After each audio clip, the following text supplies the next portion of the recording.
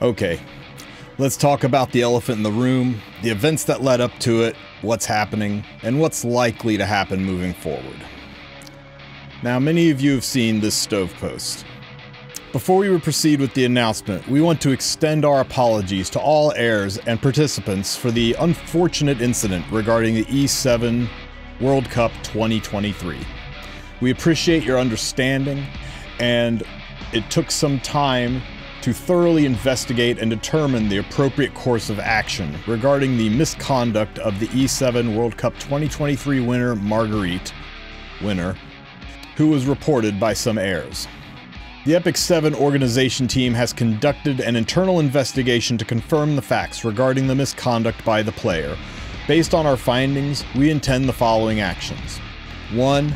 Revocation of the E7 WC 2023 winner's title and permanent banning from future participation. We will revoke Marguerite's winner's title and disqualify him from competing, nullifying his tournament record all related content and rewards provided to him, such as the champion's frame, stamp, Hall of Fame record, will all be removed from the game. Additionally, we will update the description of the in-game ring to reflect the adjustments. Additionally, Marguerite's rights as winners will be revoked, including forfeiture of any prize money earned. Furthermore, the player in question will be prohibited from participating in future E7WC events, as well as any other tournaments and competition events. Number two, strengthening of player monitoring for E7 World Cup 2024. All participants, organizers, and other stakeholders involved in the competition are expected to uphold sportsmanship principles.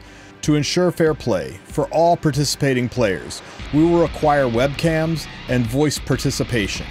We will also enhance the monitoring system to ensure compliance with these requirements.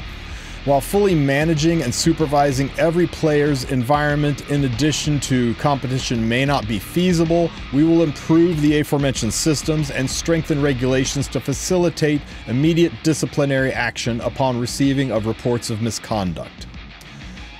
3. Strengthening the system to address abuse issues. We're committed to enhancing systems vulnerable to abuse, such as in-game qualifiers, to prevent potential exploitations. Moving forward for the E7WC 2024 and beyond, we will ensure improvements to the systems so that unnecessary suspicions towards players for their gameplay can be avoided.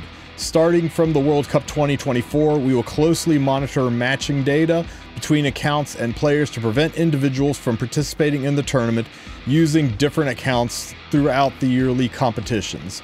Once again, we extend our apologies to all heirs and participants who have shown love for our. Once again, we extend our apologies to all heirs and participants who have shown love for all the competition.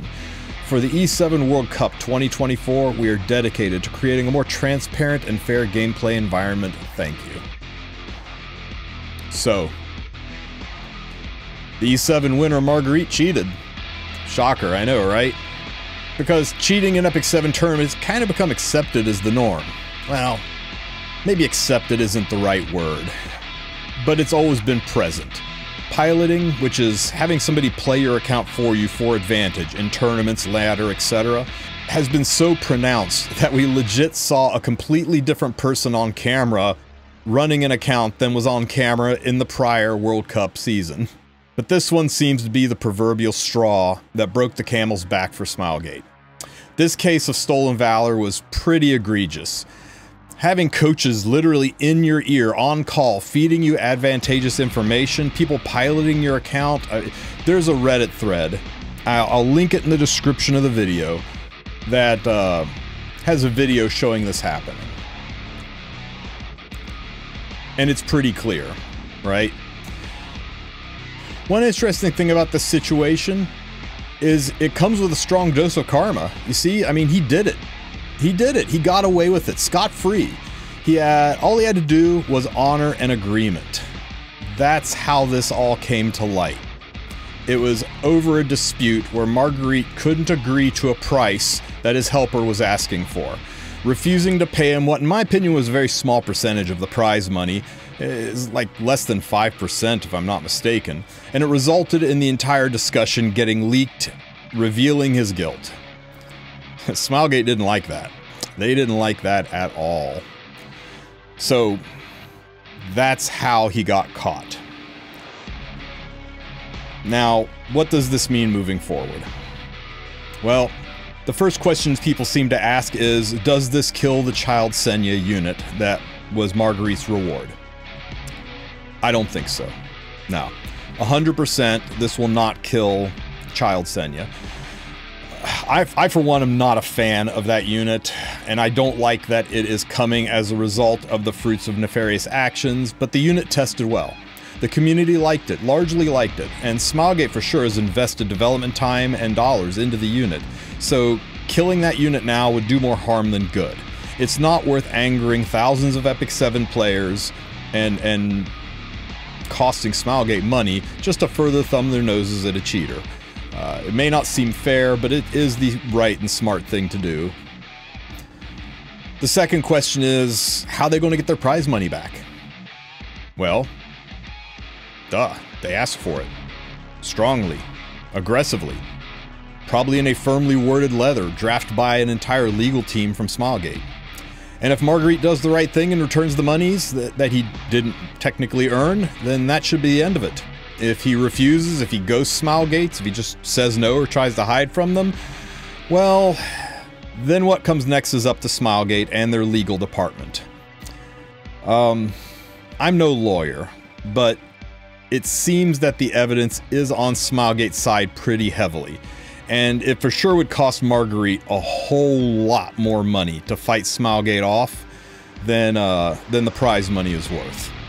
And couple that with the fact that uh, he'd likely lose. The evidence is kind of stacked against him. But Smilegate has to weigh it. They have to weigh the cost of time and effort in going after the money legally, retaining lawyers in China, coordinating that.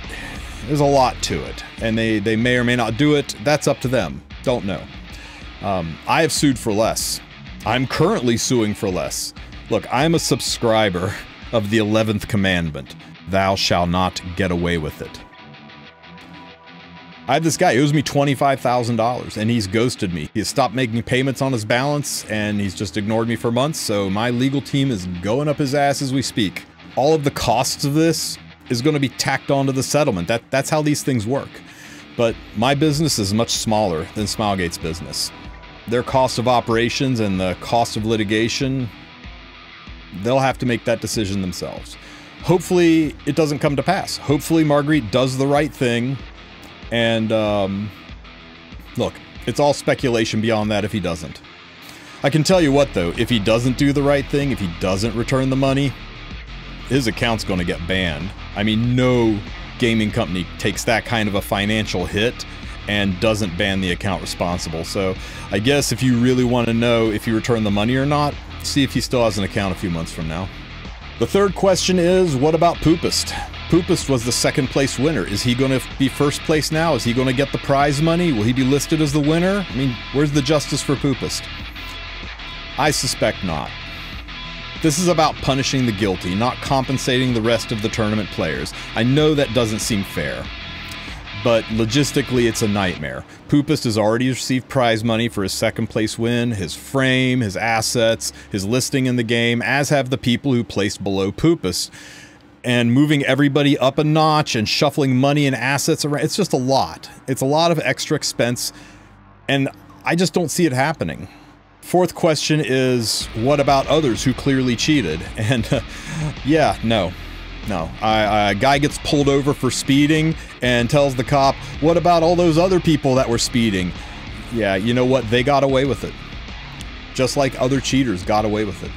But now they see this guy being pulled over for speeding, and everybody says, Oh shit, the cops are out. And they slow down and they pay more attention. And that's the hope that's what's happening here. So, yeah, forget the past.